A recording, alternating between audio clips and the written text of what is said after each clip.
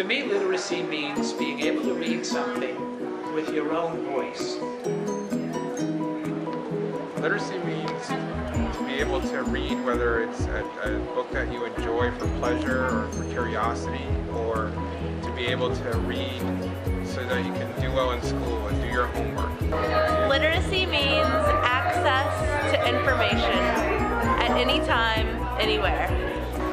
Literacy is the opportunity to be able to provide uh, information and be able to share information with others so that you can uh, gain knowledge and then share that knowledge uh, with the people that you meet.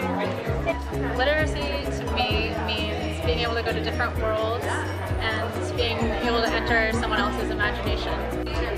Literacy to me uh, brings to mind reading with my children when they were very small and how special it was to have that routine every night, them sitting in my lap. Very special time.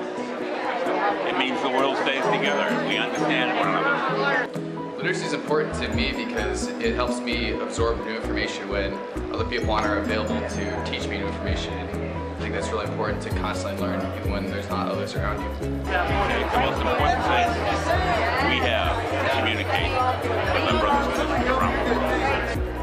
means being able to absorb information through reading various works of literature. To me, literacy means being able to exercise your imagination and learn with nothing more than a little book in your hands. Literacy from the time I was little, one week, my parents didn't let us watch TV. So I was always reading, which uh, hopefully my kids will read more with iPads and everything else. It's not as likely, but I always, I learned a ton from reading. I always loved reading, learning about what people did around the world. And, uh, I love to read and still to learn new things. Literacy means opportunity, and without it, it's hard to build a future. Literacy is opening up new worlds, being able to explore um, new places, meet new people from your couch. To me, literacy is empathy, being able to put on someone else's shoes and walk around and learn about new cultures, new people, new